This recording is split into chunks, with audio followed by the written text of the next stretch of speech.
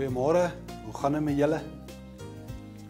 Ek wil julle vertel van 'n storie uit Johannes 5 vers 5 tot 10.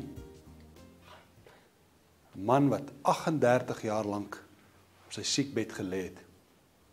En toe Jesus verbykom, toe sien hy die man lê. Jesus het geweet dat hierdie man lank siek was. Jesus vra vir hom: "Wil jy gesond word?"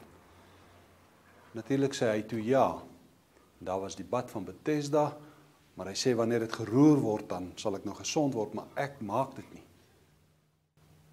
En elke keer wanneer dit nou kan gebeur, dan is daar niemand wat my help nie.